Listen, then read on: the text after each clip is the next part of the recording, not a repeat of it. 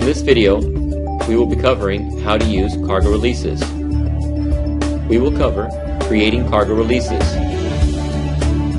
generating invoices from cargo releases, using cargo release lists.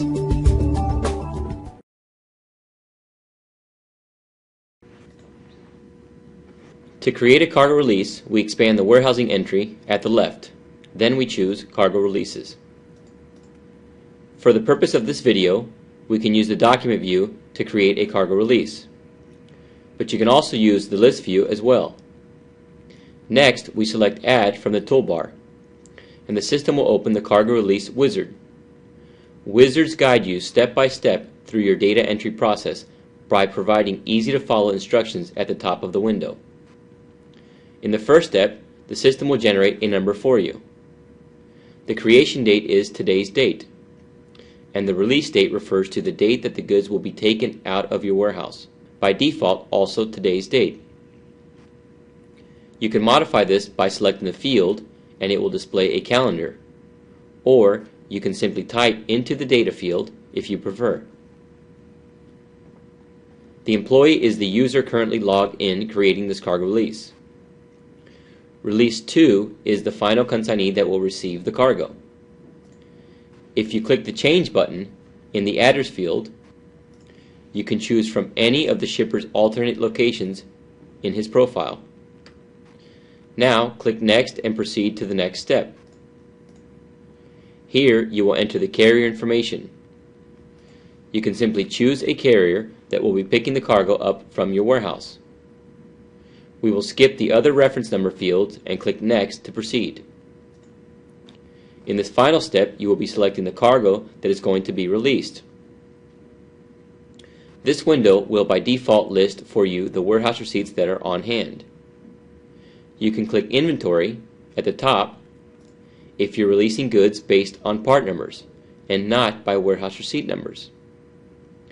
You also have the option of scanning goods with the Scan button at the top. This is only possible if you have the barcoding plugin enabled in your system, which allows you to scan the label on the goods and automatically loads goods or items into your cargo release. For now, we will be selecting cargo from the warehouse receipt list, and we will later revisit the loading of cargo by inventory. Each warehouse receipt on this list can be expanded with a plus symbol next to it. This is in the event you wish to partially load cargo inside each warehouse receipt. You can even partially load individual pieces of the cargo listed under each warehouse receipt.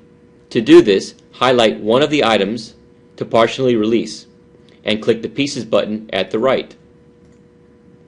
This will pop up a window that will allow you to pick the pieces out of the total you wish to partially release. For this scenario, we will load entire warehouse receipts with all contained pieces. We will first apply a filter by consignee to find the cargo I wish to ship easier. Let's click Filter at the right, choose Standard, and then choose the appropriate customer from the consignee field. This will reduce the list of items on hand to just those pertinent to this cargo lease. Now I will go one by one, shading in the white square box next to each warehouse receipt. Once you have selected all the warehouse receipts that will be dispatched with this cargo release, you can click the Finish button at the bottom. We now see the completed document for this cargo release, which can be emailed to customers or agents and printed out to send with the cargo. You can also print labels for your driver to put on the actual cargo by clicking on the arrow next to Print and choosing Print Labels. As you can see, creating cargo releases is quick and easy with Magaya. Now let's create a second cargo release for inventory items by part number. Repeat the same steps as before until you reach the Select Cargo to Ship stage.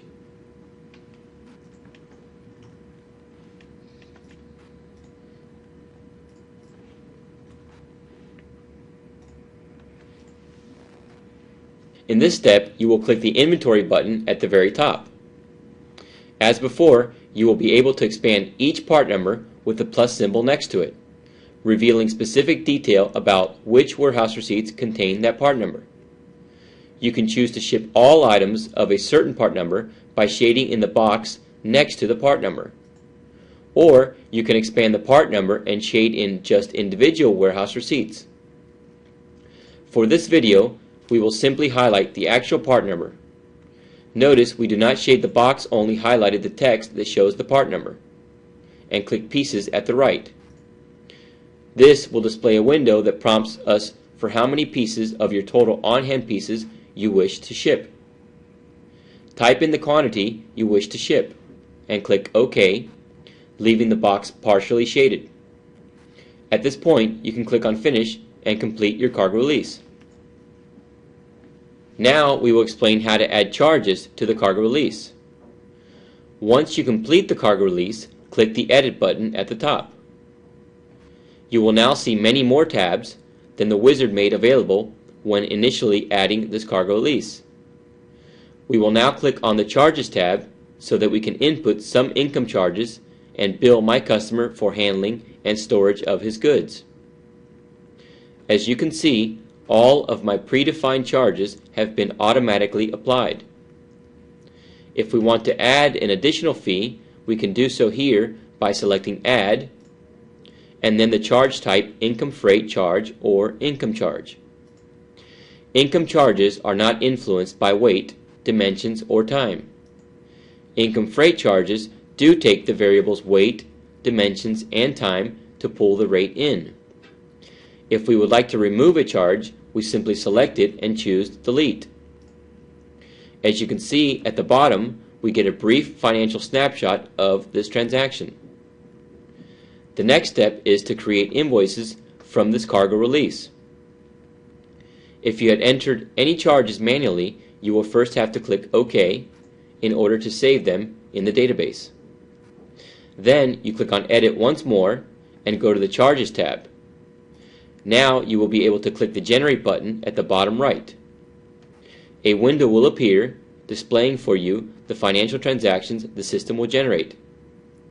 Simply confirm the selection by clicking OK and then selecting Yes. Now we are taken back to the cargo release document and to email or print the newly created invoice.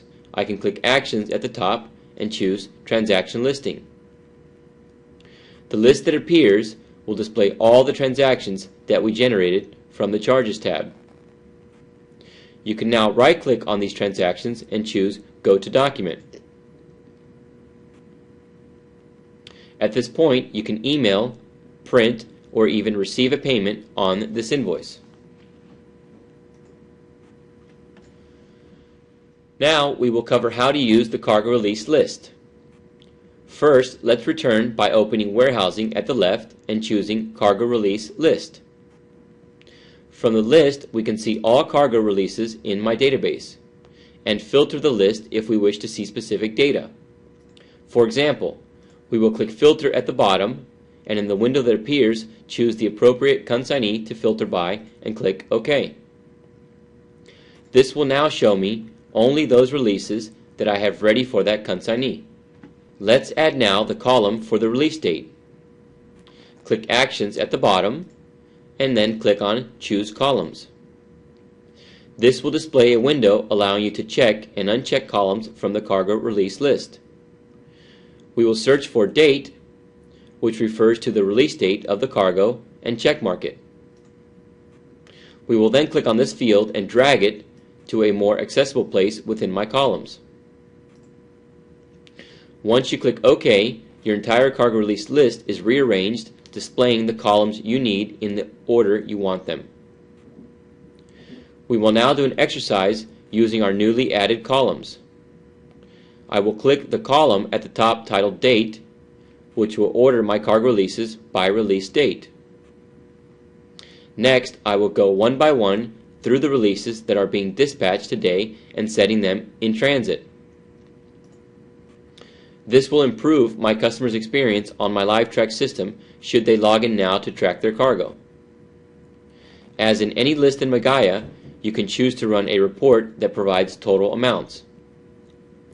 Let's do that now by clicking Actions at the bottom and hovering your mouse over Reports. The extensive list that appears is the criteria by which you can run your reports. For this example, choose By Status. The report that appears is very similar to the list except that there are subtotal amounts per status and grand total amounts at the very bottom. Total figures will automatically be calculated for any numeric column you add to the report, such as, for example, expense or income.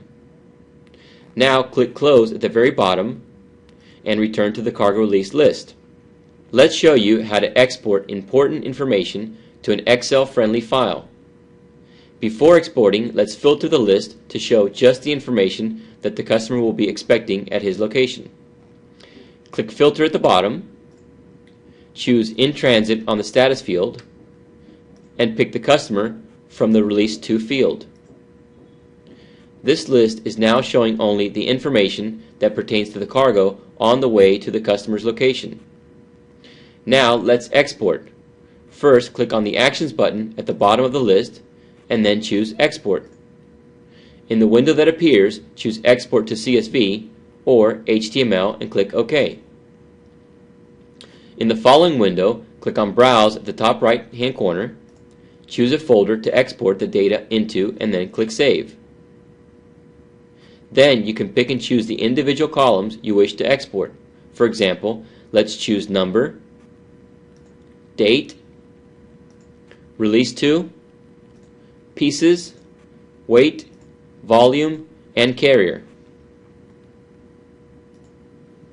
Next, let's click Export at the bottom, which will generate an Excel-friendly file in the Windows directory I specified.